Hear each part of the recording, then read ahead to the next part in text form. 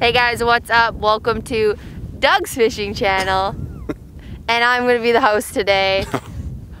but hopefully I catch more fish than Doug, but it's probably not gonna happen. Anyways, welcome to the first day of January 2020. We are in my country, northwestern Ontario, fishing for lake, lake trout. trout. Today is opening day, very exciting day. My favorite day of winter by far. So we are gonna pop some holes, get the graphs in, and hopefully show you guys some big trout. Lights, camera, action.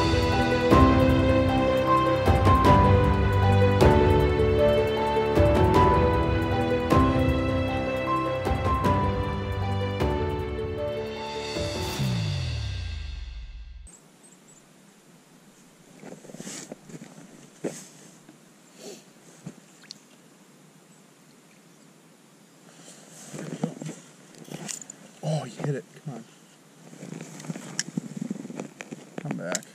Come back.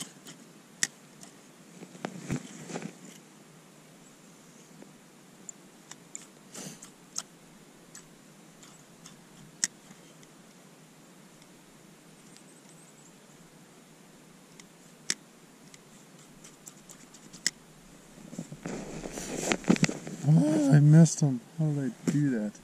You just must have swiped at it and just didn't get the hook. That sucks. Check out all this bait on the screen. You guys can see I'm in 47 feet of water. I've probably got bait in the bottom five feet of the water column, just stacked. I'm gonna keep jigging above it, and a lot of times those fish will just be trailing that bait. As soon as this bait ball leaves, we'll probably mark ourselves a big old trout. Here's one. Oh my God, he hit it, missed him. He's coming back. Oh! Come on. Come back again. He's coming, he's coming, he's coming. Yeah, yeah, yeah. Oh, yeah, yeah. Oh. That's what he keeps doing. I stung him twice. Yeah. Yeah, yeah, yeah. Oh. That one was hot. You missed him twice? Twice. He hit it.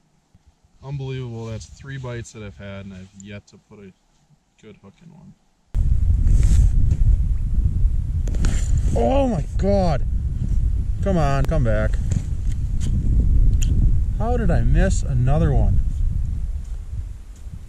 There he is.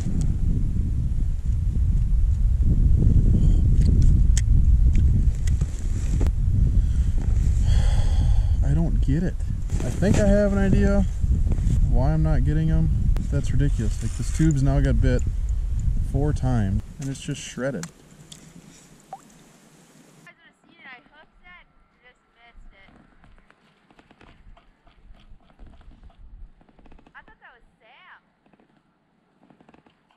Here's one.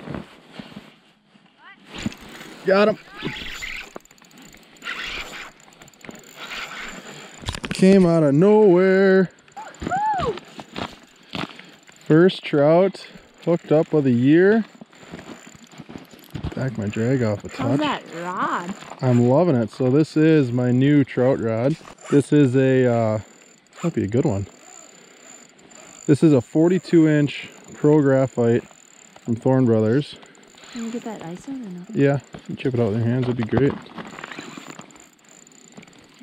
Hit the record button on the top of that GoPro on my uh... Guys, this is why I love lake trout. Like this thing hasn't stopped since I hooked it. we had a pretty rough morning. I am on 0 for I'm 0 for 4. Yeah, my graph's been showing 0% for quite a while. My shuttle actually, it's not my graph. My GoPro keeps shutting off. Mine's but I really don't care. Because we're doing it. Because we uh, got a good one on, I think. We're rolling. Doug, you're my hero. This is a good one, I think, Jess. You never know with lake trout, but... Did they come off the bottom? No, I was like super high. It came in at like 20 feet. Well, and Dave's fish was 10 feet under the, hole, under the hole. This is honestly my favorite thing to do through the ice. By far, like this is the muskie for me of ice fishing. He's just like stuck on bottom. I can't get him up. I'm taking my time, but I'm just loving this rod.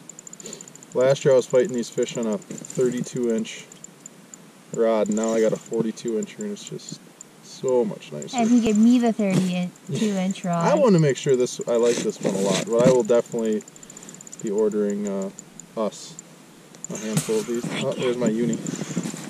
Uni. So I got about a 10 foot fluorocarbon leader on here, 15 pound. Fishing a tube, I'll show you guys. A half ounce jig, and I think I figured out why I was losing my fish this morning, why I wasn't connecting with my bites. Why? Let's try to just land the fish first.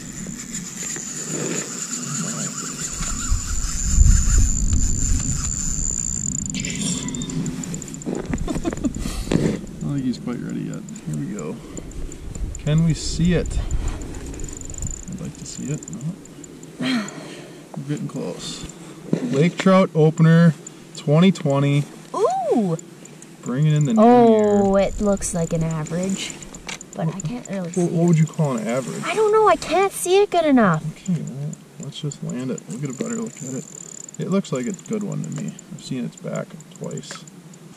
Okay, we're closer. Oh yeah. Oh, big girl. I thought so. Big girl! okay, okay, yeah, there's her head. There you go. Get her, Jess. Oh, yeah! Whoa. There's a good one. That That's is a, freaking that's a tank. that's a warrior. Look at that dark belly. Look at the fins. that thing came right from the bottom. Inhale the jig. There's the tube. We'll go through that in a little bit. Why I think I landed this one and missed all the other ones. Oh, beautiful. Let's go get the big camera. This thing hardly fits up 8 inch hole. I'm pretty sure, I'm not 100%, but I'm pretty sure this is my biggest lake trout through the ice. I'd guess it, it's over 10 pounds for sure. Might be 12. It's really close to the size of the big one I caught last year. Oh. But look at the fins in this thing. Bright orange. Beautiful. It was worth losing a couple this morning to catch this one. What a fish. Jess just missed one. Hopefully we can get one more for you guys.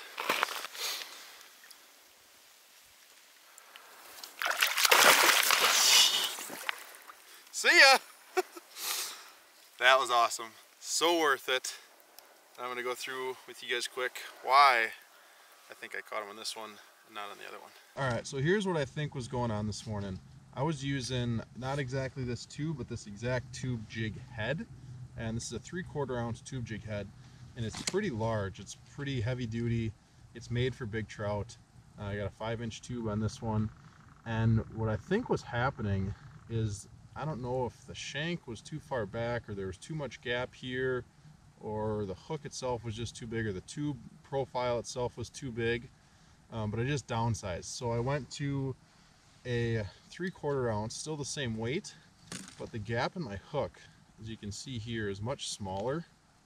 Okay, uh, it's a lot closer to the front of the tube jig because I was getting a lot of teeth marks just like this one right by the, the line tie. So, and also what I did is I took my scissors and I just cut some of the skirting off the back of the tube and made it a little bit shorter profile so it wasn't so large.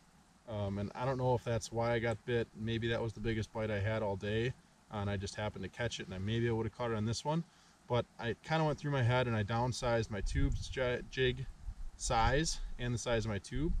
And then first fish I hook up on, I land it. So coincidence maybe, maybe not. Regardless, I'm gonna stick with this one and hopefully get one more bite.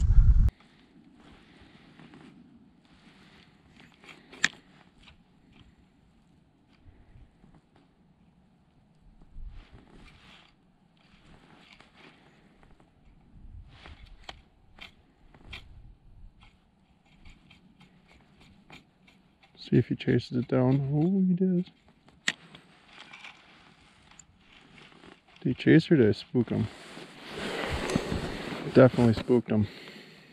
That's like a last resort kind of move. I could tell that fish wasn't very aggressive. I wasn't going to get him to, to chase up after the tube. So sometimes you can just open your bail and let that bait just free fall past the fish. Sometimes they'll chase it. And you kind of got to watch your line and watch your mark on your graph to see. But sometimes they'll actually chase it down and eat it while you're still uh, in free spool. So when you can't get them to come up, sometimes you can get them to go down. But that one uh, obviously was not having it. They've been kind of kind of spooky. We've seen so many different varieties of attitude from these fish this morning. Some have been super aggressive, like the last one just came out of nowhere and crushed it. That other one I worked for like five minutes, couldn't get him to do anything. The one I missed him twice, and then I've had a lot of those fish just like that that are really timid and spooky. But you just got to keep playing with your cadence, change up your jigging tactics and your strokes and try and read the fish. That's what your electronics are for, to be able to read the attitude of that fish and try and figure out what you need to do to get a bite. And that's why I like this graph that I actually have. It shows me the history. You guys can see what I've done probably the last five seconds. And sometimes you don't see these fish come in or you can also just look at that while you're uh, working the fish and see what they did or did not like instead of having to remember it instantly if that information is gone all of a sudden you don't have any kind of history on your screen.